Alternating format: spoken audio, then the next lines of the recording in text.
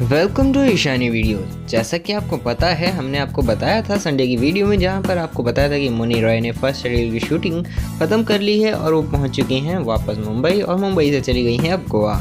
वैसे आपको बता दें, गोवा में अपने फ्रेंड्स के साथ वो काफ़ी ज़्यादा इंजॉय कर रहे हैं। वहाँ पर सोना सिंह और संजीदा शेख मौजूद हैं।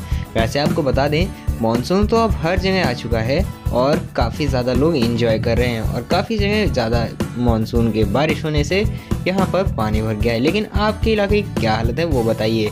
वैसे मोनी रॉय अभी हैं गोवा में और वहाँ पर वो मानसून की बारिश का इंतज़ार कर रही थी और वो इंजॉय कर रही हैं बारिश में। और वहाँ पर उन्होंने फ़ोटोज़ पोस्ट की हैं और उस पर लिखा है कि बारिश में नहाना और डांस करना, ये दोनों ही बहुत अच्छा लगता है। वैसे आपको बता दें मोनी रॉय ने अभी जल्दी में अपनी ट्रेनिंग भी कंप्लीट कर ली है, अपने जिमनास्ट की, और वो बिल्कुल वेल फिट हो चुकी हैं। अब रॉ फ़िल्म के लिए वो एक एक्शन सीन के लिए शूट ज़रूर करेंगी।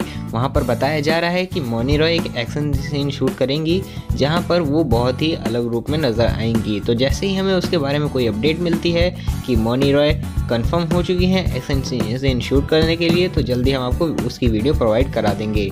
तो कैसी लगी वीडियो कमेंट करके ज़रूर बताइएगा अगर आपको अच्छी लगी हो तो लाइक कर दीजिए शेयर कीजिए अपने दोस्तों के साथ और सब्सक्राइब करना मत भूला हमारे चैनल को और भी इंटरेस्टिंग अपडेट्स के लिए। Thank you